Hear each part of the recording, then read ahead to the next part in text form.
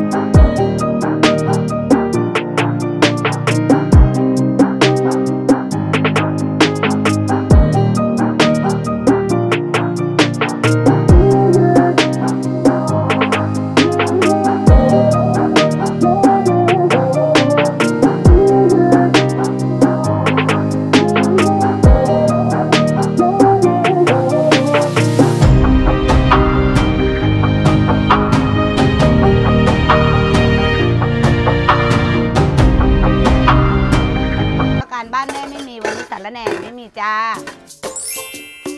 ว้า